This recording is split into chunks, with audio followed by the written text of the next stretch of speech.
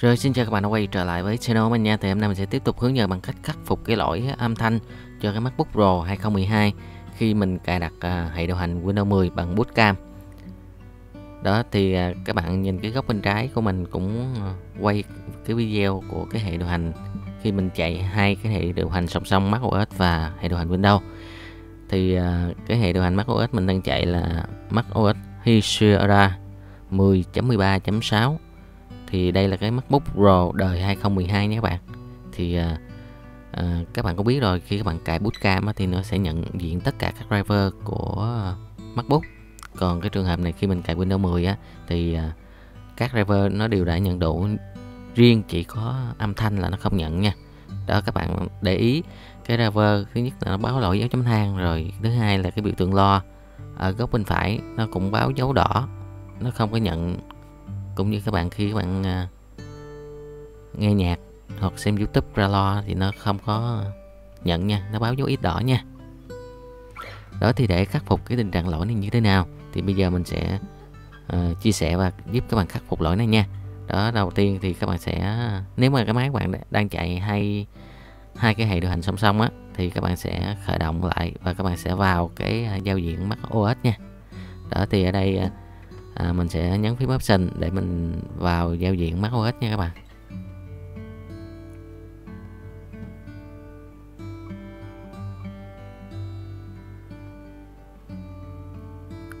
Đó thì ở đây à, mình sẽ chọn cái à, UDT là cái à, phần dùng của macOS nha.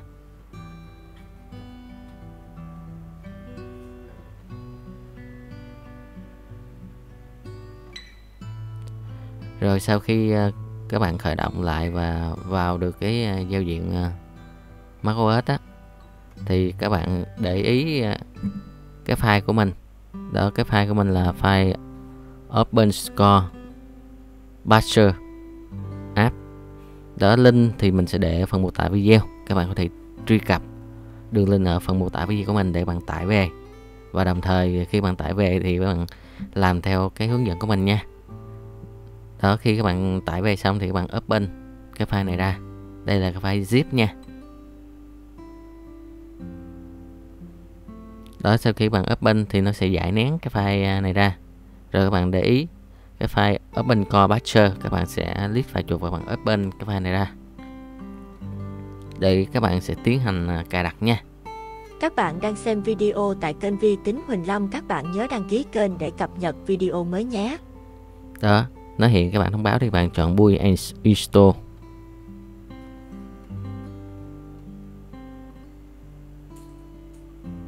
rồi chọn Install to disk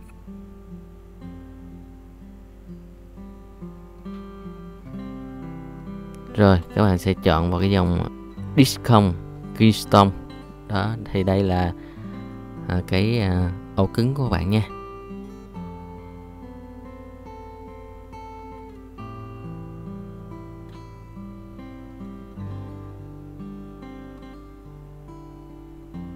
Rồi các bạn sẽ chọn dis e fi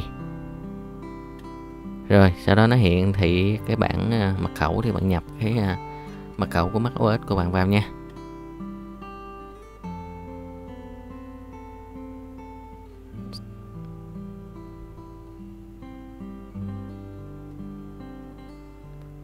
Rồi sau khi nó chạy xong thì nó yêu cầu uh, các bạn phải reboot là khởi động máy lại nha.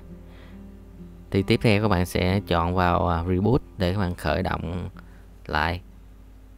Thì à, tới cái bước này á, khi bạn cài cái app này vào rồi á, thì à, khi bạn khởi động lại nó sẽ có hai cái giao diện để các bạn tùy chọn. Một là bạn vào Windows, hai là bạn vào macos. Thì ở đây các bạn sẽ vào Windows đâu nha các bạn. Như vậy là cái quá trình ở đây mình cài cái app đó để mình fix cái lỗi âm thanh thì bây giờ các bạn sẽ à, vào cái à, phần à, Windows để xem cái kết quả nha. Đó, khi khởi động lại thì nó sẽ có hai cái phần tùy chọn cho bạn. Đó, vừa Windows và Mac OS thì mình sẽ chọn vào cái phần Windows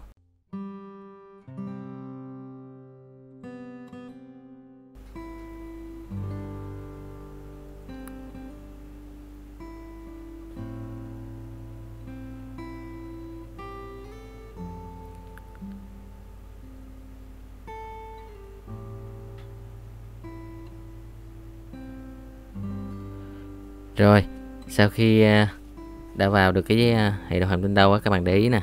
Cái biểu tượng lo nó không còn báo dấu ít đỏ nữa nha. Nó đã nhận à, cái âm thanh rồi nha các bạn. Rồi bây giờ mình sẽ mở YouTube lên mình à, phát tiếng thử xem nó có được hay không nha.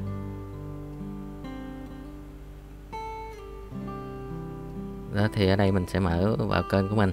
Để các bạn xem là nó có à, âm thanh hay không nha. Tại vì thường những cái máy mà đời cũ á, thì cái bút cam nó rất là khó cài. Cho nên là chỉ có cách à, fix lỗi âm thanh thôi.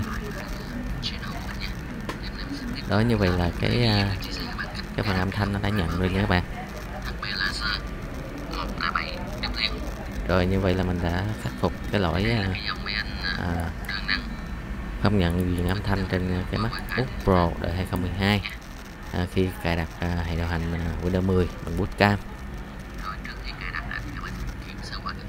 rồi mình à, xin à, kết thúc video tại đây và hẹn gặp lại các bạn những video tiếp theo nha. Nếu bạn thấy video mình hay và hữu ích thì bạn nhớ nhấn like và nhớ nhấn vào chuông đăng ký để luôn luôn cập nhật được những video hay và hữu ích tiếp theo của mình nha. Xin chân thành cảm ơn và hẹn gặp lại các bạn những video tiếp theo nhé